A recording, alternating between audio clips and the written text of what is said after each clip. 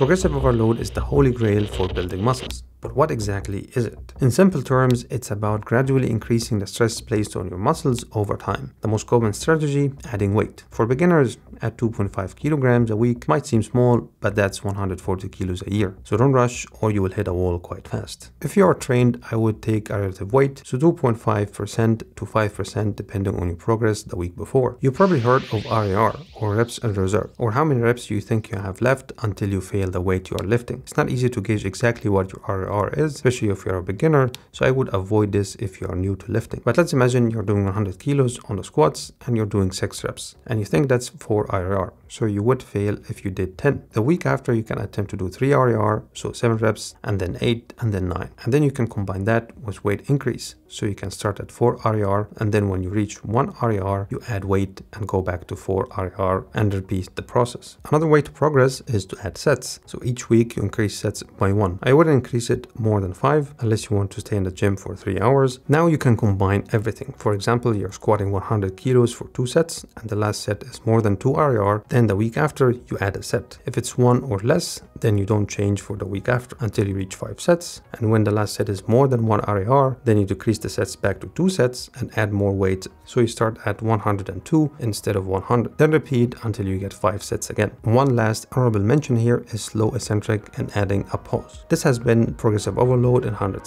seconds. Progressively overload the like button if you want to see more short videos like this one. Thanks for watching and I will see you in the next one.